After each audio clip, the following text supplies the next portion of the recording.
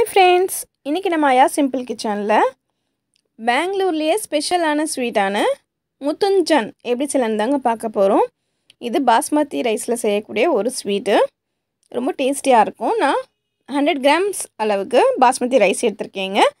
கூடவே ஸ்வீட்லெஸ் பால்கோவா எடுத்திருக்கேன். ரெண்டு பேக்கெட் பால் எடுத்திருக்கேன். ஒரு லிட்டர் அதாவது ஒரு கப் அளவுக்கு சர்க்கரை முந்திரி ஒரு ஐம்பது கிராமை விட கூட பாதாமும் அதே மாதிரி நெய் தேவையான அளவு நம்ம எடுத்துக்கலாங்க. ஒரு ஹண்ட்ரட் எம்எல் வரைக்கும் நம்ம எடுத்துக்கலாம். பார்த்திங்கன்னா ஃபஸ்ட்டு நான் அரிசியை வந்து ஜாரில் போட்டு கொஞ்சம் குறை குறைன்னு அரைச்சிக்கலாங்க. பால் ஊற்றி அரைச்சிக்கலாம் கொஞ்சம் லைட்டாக இந்த சைடு பார்த்திங்கன்னா நான் அடுப்பில் ரெண்டு பேக்கெட் பாலையும் ஊற்றி நல்லா சுண்ட காச போகிறேன் ஸோ அது சூடாகிற வரைக்கும் நம்ம பாதாம் முந்திரியை பேஸ்ட்டாக கொஞ்சம் அரைச்சி வச்சுக்கலாம். இப்போ பார்த்திங்கன்னா பால் நல்லா பாலோடைய நம்ம நம்ம அரைச்ச அந்த அரிசியையும் போட்டு நல்லா வேக விட்டுடலாங்க. கொஞ்சோண்டு தண்ணியை மட்டும் ஆட் பண்ணிக்கலாம். எதுக்காகனா அரிசி கொஞ்சம் வேகணும் இல்லையா அதுக்காக. ஸோ கொஞ்சம் நேரம் ஆயிடுச்சு. அரிசி நல்லா வெந்துடுச்சு. நான் இப்போ இதில் அந்த பால்கோவா எடுத்தேன் இல்லையா அதை நான் ஆட் பண்ணிடுறேன். ஸோ பால்கோவா நல்லா அதில் மிக்ஸ் ஆகிடணும் அதற்கு நம்ம மிக்ஸ் பண்ணி விட்டுடலாம்.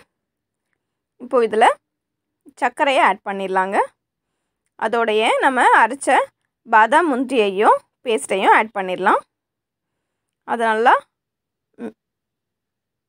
மிக்ஸ் ஆகிற அளவுக்கு நம்ம மிக்ஸ் பண்ணி விட்டுடலாம்.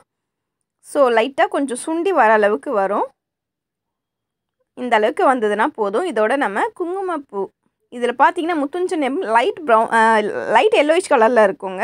ஸோ அதனால் அதில் குங்குமப்பூ போடுவாங்க. இது ஆப்ஷனல் தான். உங்கள்கிட்ட இருந்ததுன்னா நீங்கள் யூஸ் பண்ணலாம். அப்படி இல்லைன்னா வெள்ளையாக கூட நீங்கள் யூஸ் பண்ணிக்கலாம்.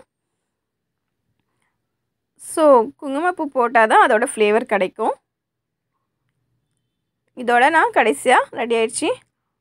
முந்திரி பாதாமை கொஞ்சம் நெய்யில் போட்டு வறுத்து நான் ஆட் பண்ணியிருக்கேங்க ஸோ ரெடி ஆயிடுச்சு பாருங்கள் நம்மளுடைய பெங்களூர் ஸ்பெஷல் ஸ்வீட் முத்துஞ்சன்.